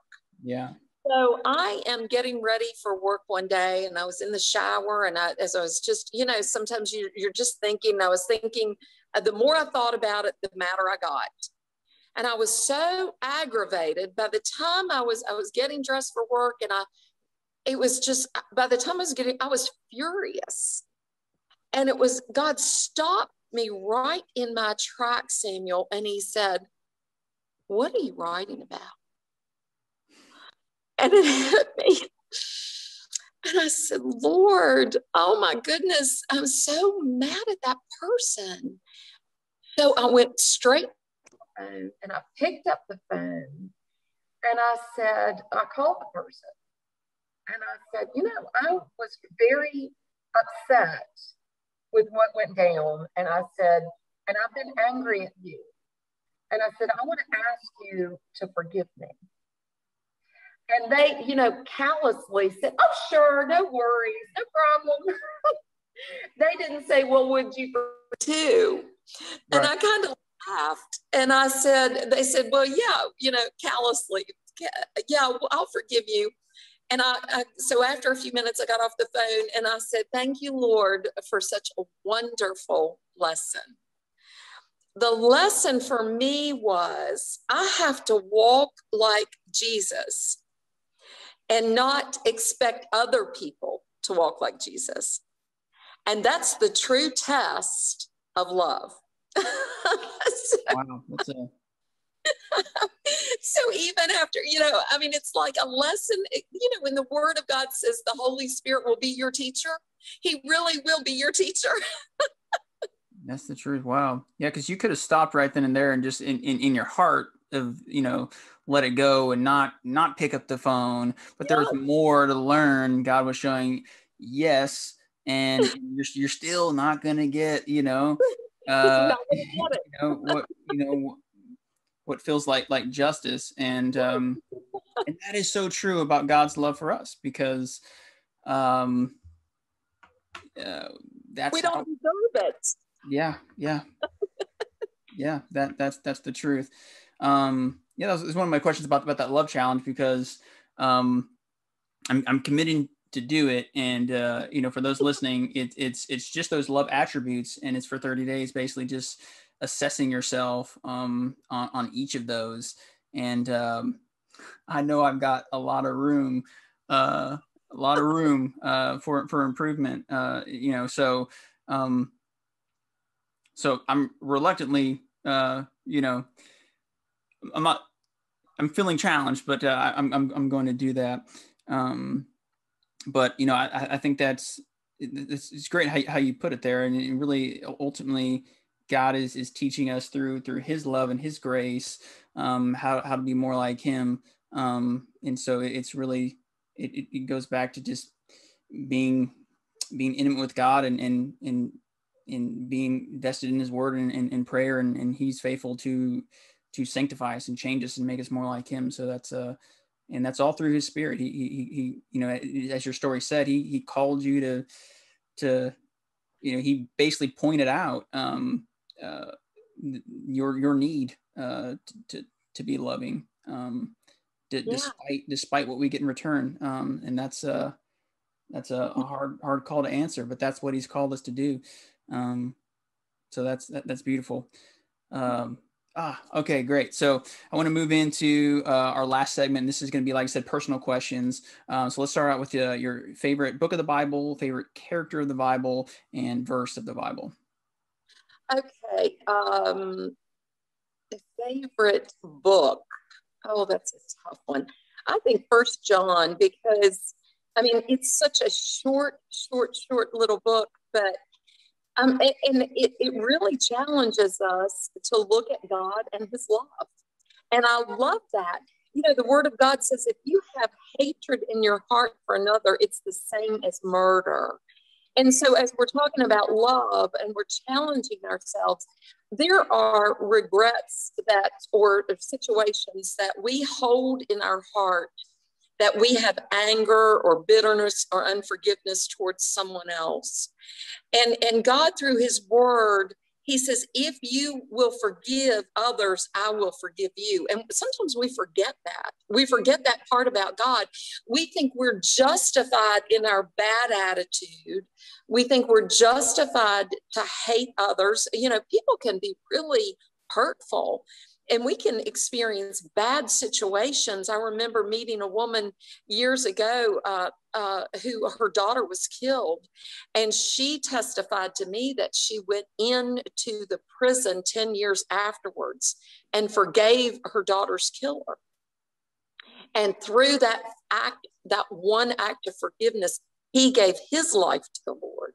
Wow. And so we don't understand the power in forgiveness. And we when we under we understand it when we first get saved because right. we understand we're forgiven.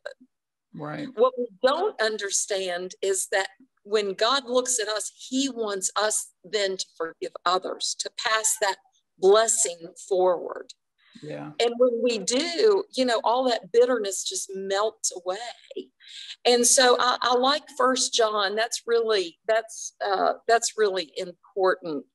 The other uh, favorite character, I love Amos.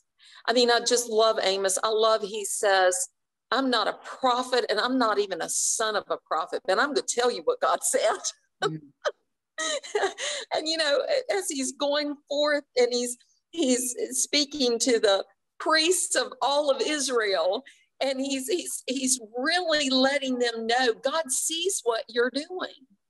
And you know, sometimes I think about that in our churches today, in our leadership and, and ministers. God calls us all to a higher standard. He doesn't let us off the hook. He, you know, he says, if your teacher you're held to a higher standard. I remember when he first called me as, as a teacher, I said, God, I'll, I do not want to be a teacher because I don't want to be held to a higher standard. Yeah. And then what did he call me to do? A teacher. so, in other words, you know, Amos points out to the priests of Israel, to the leaders, because that's who God holds most accountable, you and I as leaders we're held to the highest standard. And I love how bold he was that he went forth what could have cost him his life. And, you know, today's society says we have to have that business card, you know, to be somebody. We have to we have to have a title to be somebody. And Amos said, I'm not a prophet. I'm not even a son of a prophet, but I'm going to tell you what my father said to me about what, what's coming your way. And because of the sins in the sanctuary, because of the sins that you've committed, not only you, but your whole family, eh, your whole family is going to suffer from what you've done.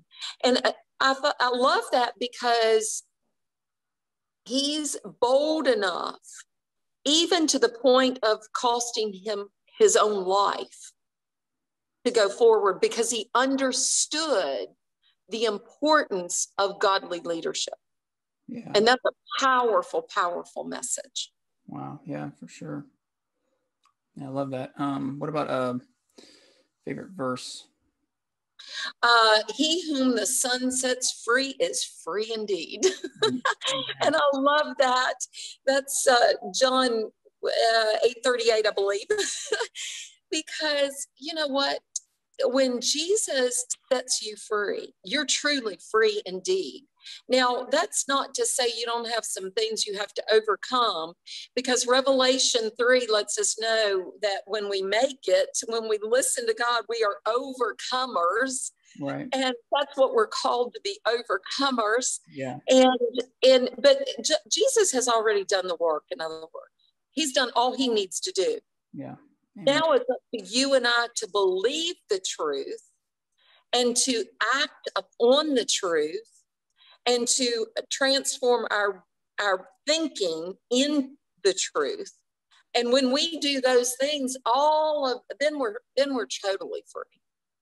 Amen. but he's given us everything we need to be free today. Amen. Wow.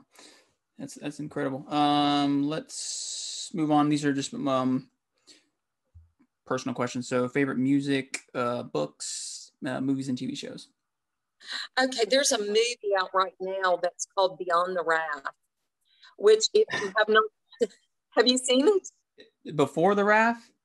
Before the Wrath. I yes. literally, I literally finished watching that this morning. I, I kid you not. I started watching it last night. I fell asleep watching it last night and finished it this morning. That's exciting. Yeah. yes. This this podcast was meant to be. Wow. Is that not? It's it's phenomenal, and I would recommend every believer listen. Go listen. Jan Markell is one of my favorites. I mean, I just love her. I love her radio show, and she's really powerful. If you have not seen Olive Tree Ministries, is another really important ministry to keep your eyes on, because she has the Jewish roots uh, and Christianity. And she, she does such a beautiful job about tying in current events and what's going on in the world today with with biblical um, principles. So so you you are just overwhelmed and amazed. And i love i love that whole movie because right now it's like we can almost hear the trumpet sound. Yeah absolutely and so time is short, and we have got to share Jesus as much as we can everywhere that we can, because the Word of God says if you believe in your heart and you confess with your mouth, you will be saved. Mm-hmm. And so there's no magic potion. There's no, you know, there's no perfect prayer. There's no, yeah. there's no, it's just a simple believe in your heart, confess with your mouth, and you will be saved. Mm-hmm. Jesus Lord. And so we've got to share the message of the gospel. We've got to let people know that Jesus loves them, that no matter what they've done, no matter what their past looks like, no matter what sins they've committed, Jesus died on that cross. And the word of God says that he wiped away every accusation that stood against you and I when we say yes to him. And I'm telling you what, that frees me up, Samuel. yeah. Absolutely. That brings freedom to me. All that guilt, all that shame, all that disappointment, it just leaves you when you understand that Jesus just wiped it all away. Yeah, and then he empowers us with his spirit to to to walk in that and and do his will. So what what incredible love. Um what about uh music and books? Favorite? Music uh, Waymaker is my favorite song. I could listen to it um, 20 times a day and still want more. Yeah. yeah. and years ago, I read um, Pilgrim's uh, Progress, and I think it's a really great, great. You know, it's it's a classic. Yeah. It's been around forever, and it's it's you know it's it's a very popular book. But what I love about it is when you read it, you really start to get a better picture of light and dark, kingdom of good and kingdom of evil, and you you really start it really starts to open your eyes to the demonic, to the spiritual realm, and to uh, just this pro- this path that we're on as we walk through. We have to understand we have a real enemy and that is Satan. He comes to kill, steal, and destroy. Jesus Christ came to give life and life more abundantly. And you pick and choose who are you going to serve? And every day we have to make that decision in, in everything that we do. I mean, once we're saved, we're saved, but we still have to make a decision of how we're going to live our life. Yeah. And that's why that's why I wrote the book No Regrets because if we want to honor God, we'll have a life of no regrets. Yeah, amen. Yeah, that, that, that that's going to be on my list of of reads, my long list of reads, because I'm um, going through Steve uh, Cleary, I believe his name. He did uh, an animated series called iBible. Um, his uh, website's revelationmedia.com. He's he actually did a, a movie on Pil- Pilgrim's Progress, which I, I, haven't seen, but the animated um, uh, Bible series is, is just incredible. Um, I'm going through that with, with my daughter right now. And so, um, you know, that that's on my list of movies to watch. And uh, so, yeah. Uh, let's see. What do you like to do in your free time? oh, goodness. Um, well, you know, free time I don't have a lot of, but I love to play the piano. Um, I love, I want to paint I love painting. Mm. My father was a painter. I, I, I'm a wannabe. Uh, hmm. at both on both accounts there but i like to do that i also like to spend time with friends and family i love to serve um, cooking is a hobby that i love so i like to have lots of company and i'm going to have some company this week coming so it's it's going to be a busy week for me but uh, cooking is is a, a, a real hobby and love that i have Awesome. Uh, so that leads to the next question, which is if you could have dinner with five people, dead or alive, who would they be?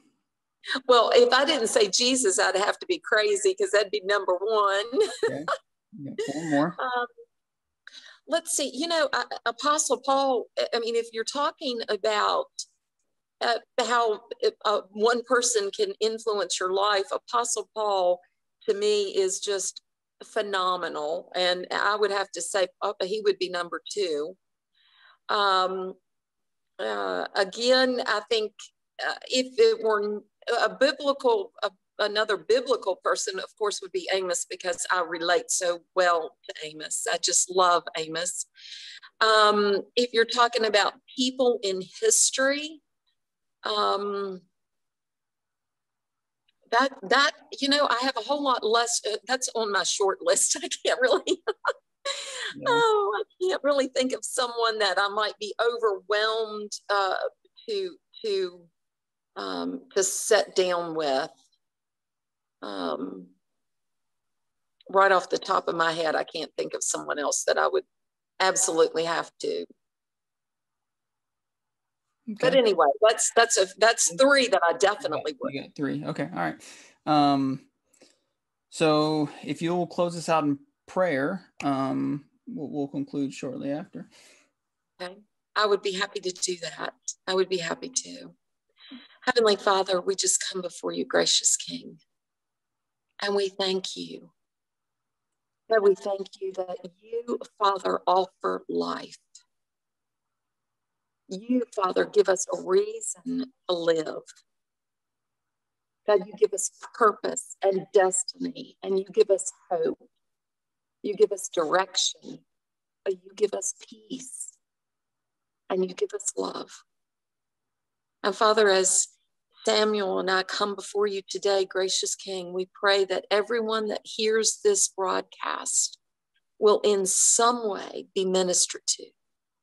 In some way, their hearts will be transformed, their bodies healed, their minds healed. Touch each and every listener, God. We ask you, precious King, that your blessings be upon us that as we move out to speak your word, we speak it with boldness, that we have a heart and compassion of Christ to see people healed and delivered and restored. Bless your people this day. In Jesus' name I pray. Amen. Amen. Well, Robin, I, I, absolutely cannot thank you enough. Uh, this has been mm. truly, truly such a, a pleasure talking with you. Um, you know, reading your book, as, as, I mentioned before, highly recommend that to, to, to, the listener. You know, if you if you were impacted by in anything you hear today, um, I, I, can guarantee you uh, you're going to want to pick up the book because uh, as I as I read through that, and we, we only just kind of scratched the surface on, on what's in the book. Um, there's so many points throughout where I had to kind of pause and take a second and, and pray and, and thank. Um, and, uh, and, and you, you, you make room for that in the book at the end of each chapter where you, you ask questions and you have those quotes in the scriptures throughout. And so, um, uh, so yeah, thank you. Thank you for that really. Um, and I'll, you know, I can divulge later on, on more on, on, on, on how, you know, reading through that book helped me, but I'll, I'll definitely keep in touch and let you know 30 days from now, Thank you. with this love challenge and, and, and how much um you know uh, you know uh, what the what the outcome of that is um and um so before we leave tell people how to get the book and how to get in touch with you in your ministry sure. okay um robinbertram.tv um, is my website. You can go there and visit the website. You can get the book on any of the major bookstores. You can go to Charisma. You can get it uh, um, Books a Million, um, uh, Barnes and Noble. Uh, it was on Walmart Books and Target. I'm not sure. I think you can still get it there too. Yeah. Um, so you can also uh, connect with me on Facebook, Robin Bertram uh, official Robin Bertram on Facebook or my my regular profile Robin Bertram. I'd love that. I'm also on uh, Instagram. You can connect with me there. Um, so I'm not quite as active on social media as I have been in the past, just because we have been in transition. We've been moving across the country, so finally we're getting to back to stability. So you'll see me there quite uh, quite a bit coming up. Cool. Awesome. Um, well, thank you so much. I'll, I'll, keep in touch, you know, maybe down the road and I can have you back on. Um, I, I love, uh, love our conversation today. Um, and, uh, I'll, I'll, I'll see you soon. Thank you so much, Samuel. It was a, it was an honor to be with you today. Thank you.